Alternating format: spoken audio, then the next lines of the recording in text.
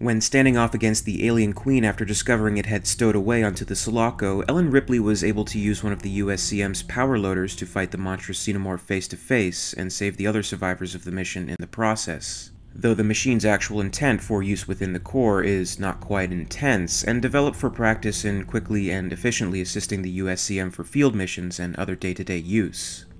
The Caterpillar P5000 powered workloader, as described in the Colonial Marines Tech Manual, was selected by the U.S. Colonial Marines as their prime loader for vehicle logistics and support operations. Configured as an anthropomorphic exoskeletal power frame, the P5000 offers unprecedented flexibility when handling ordnance and cargo during rough field operations or when conducting heavy maintenance away from fixed workshops.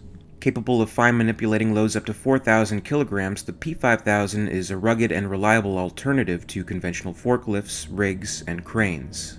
The chassis of a P5000 is a reinforced steel framework with two upper load-bearing points for the arms. A hydrogen fuel cell is mounted on the back of the frame, providing up to 65 kilowatts of power for the loader. The articulated legs are attached by two semi-universal bearings to either side of the chassis, allowing up to 60 degrees of hip swivel movement. Just below these are a set of knee bearings. Leg motions at the hip are controlled by a pair of 20 kilowatt linear motors actuated via a fast feedback loop slave to the operator's movements.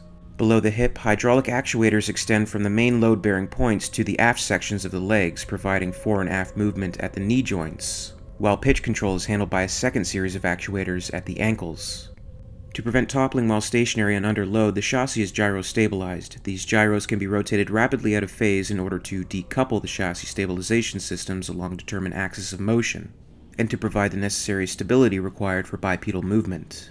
The arms are attached to the very top of the chassis by a pair of complex universal bearings stressed to operate under loadings of up to 4,000 kilograms. Arm motions in the Y and Z axes are controlled by linear motors, while movement in the X axis and at the elbows is powered by a series of hydraulic actuators. The limbs terminate at a set of vice manipulators configured to handle standard P60 and O26 type pallet grids and capable of up to 360 degree rotation.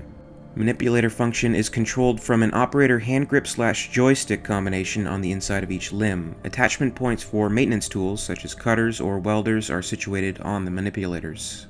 To work the power loader, the operator first backs into the machine buckling themselves with the webbing harness. A roll cage is pulled down to provide protection for the head and torso, while feet are snapped into straps. Power up and systems diagnostics are handled by a punch keypad built into the operator's hand grips. When powered up, the loader is slaved into the operator's limb movements, duplicating their walking and lifting motions almost exactly.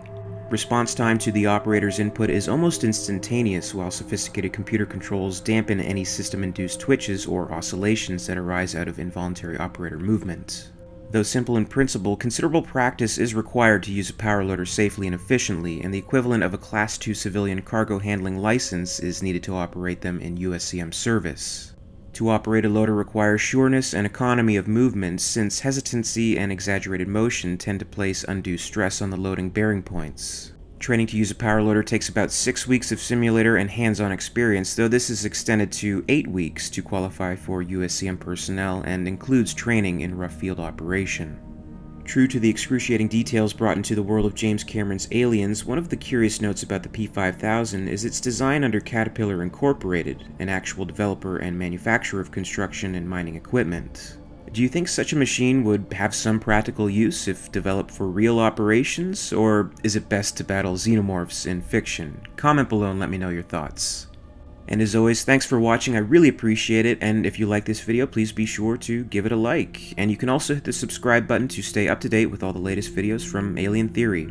If there's an Alien Universe topic you'd like to see covered, I'd love to hear your suggestion below and make sure to cover as much as I can. You can also follow Alien underscore Theory on Twitter and Alien Theory YT on Facebook for more. And until next time, this is Alien Theory, signing off.